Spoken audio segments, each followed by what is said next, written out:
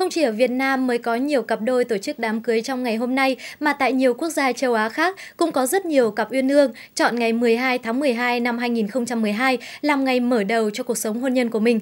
Bởi lẽ đây là ngày tam trùng cuối cùng của thế kỷ 21 khi ba con số ngày, tháng, năm trùng nhau. Hôm nay sẽ là ngày tam trùng cuối cùng mà chúng ta được chứng kiến trong đời, bởi vì từ năm 2013 sẽ không có tháng 13 để trò chơi con số tiếp diễn.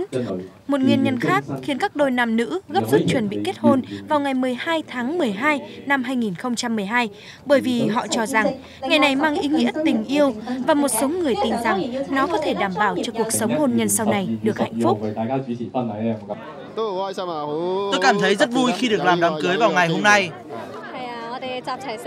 Ngày cưới của chúng tôi có 3 con số 12. Đây sẽ là một kỷ niệm không bao giờ quên. Theo thống kê từ Cục Đăng ký kết hôn Hồng Kông, 696 cặp uyên ương đã thông báo kết hôn vào hôm nay, gấp 4 lần so với số đám cưới trung bình hồi tháng 10. Tương tự, tại Singapore và Thái Lan, hàng trăm cặp đôi cũng quyết định xe duyên vào ngày tam trùng. Kết quả hôm nay trở thành ngày bội thu cho ngành kinh doanh dịch vụ cưới. Rõ ràng, đây là một ngày rất dễ nhớ. Đối với các cô dâu, họ sẽ không bao giờ phải lo ông xã mình sẽ quên kỷ niệm ngày cưới. Đối với người Trung Quốc, con số 12 có ý nghĩa là hòa hợp, nói chung là một ngày rất tốt.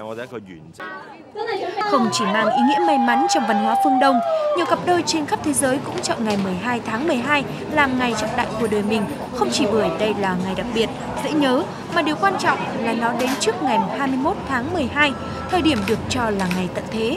Tại Mỹ, 5.000 cô dâu cũng xuống sinh áo cưới bước vào nhà thờ, một kỷ lục hiếm có trong ngành tổ chức tiệc cưới tại nước này.